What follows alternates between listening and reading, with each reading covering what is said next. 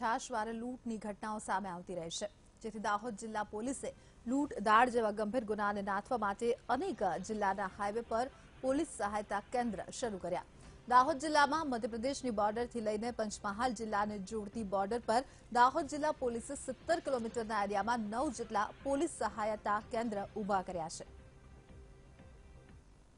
Primary purpose highway પર થતી ગુનાખોરીના પ્રમાણને અટકાવવું. ઇવન એક્સિડન્ટના ગુનાઓ પણ અટકે અને ઝીરો લેવલ સુધી લાવી શકાય તેવા પ્રયત્નો દાહોદ જિલ્લા પોલીસ દ્વારા કરવામાં આવી રહેલ છે. પેટ્રોલિંગ પણ વધારી દેવામાં આવેલ છે અને આ પોલીસ સહાયતા કેન્દ્ર પરની જે સુવિધાઓ છે, જે માઇનોર સુવિધાઓ અમે અત્યાર સુધી વિકસાવી શક્યા છીએ, એમાં માઇનોર પંક્ચર કાઢવાની સામગ્રી ફર્સ્ટ એડ બોક્સ ટોયલેટની વ્યવસ્થા, ચા પાણીની વ્યવસ્થા છે.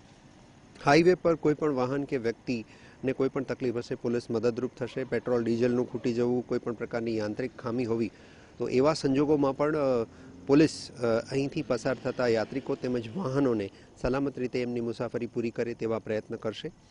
હાઈવે સહાયતા કેન્દ્ર ચાલુ કર્યા પછી ગુનાખોરીના પ્રમાણમાં ઘણો ઘટાડો થયેલ છે અને હજી વધુ સક્રિય રહી અને પોલીસ હાઈવે ડોમિનેશન એક્સરસાઇઝ ચાલુ રાખશે.